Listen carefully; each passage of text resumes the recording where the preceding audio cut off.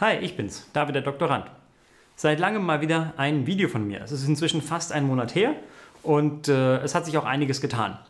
Zum ersten habe ich mit meinem Doktorvater in Spee über mein Exposé gesprochen, was äh, fast fertig ist.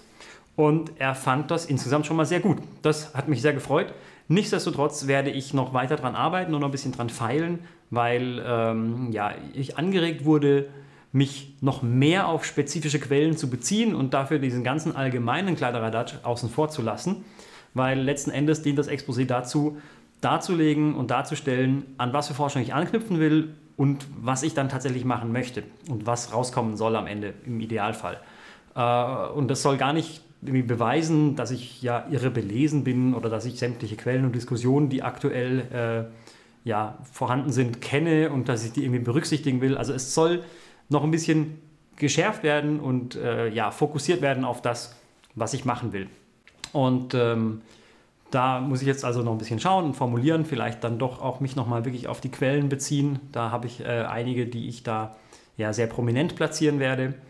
Und das ist also der aktuelle Stand des Projekts David der Doktorand.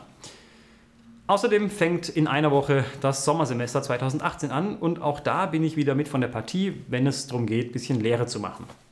Äh, man kann das jetzt insgesamt überschreiben mit Radar heißt jetzt Twix, denn mein eigener Schlüsselqualifikationskurs, der bisher Präsentechnik hieß, heißt jetzt ähm, digitale Medien im Studium, medienkompetent präsentieren. Es ist inhaltlich dasselbe, es ist nur anders verpackt, denn der Kurs wird hauptsächlich online stattfinden.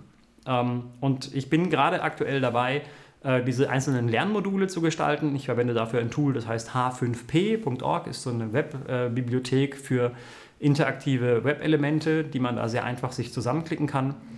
Ähm, ich werde für diesen Kurs auch einige solche Videos hier aufzeichnen, wo ich quasi Input gebe, die sich die Studierenden dann anschauen und daraufhin dann selbstgesteuert weiterlernen und weitere Inhalte recherchieren.